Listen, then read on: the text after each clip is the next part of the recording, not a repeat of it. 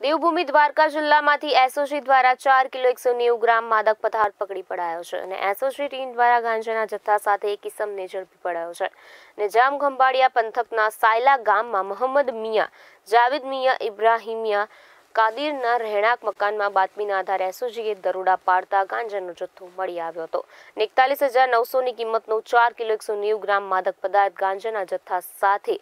એક ઈસમને પકડી પડાયો હતો અને પોલીસે અટકાયત કરી વધુ તપાસ હાથ ધરી હતી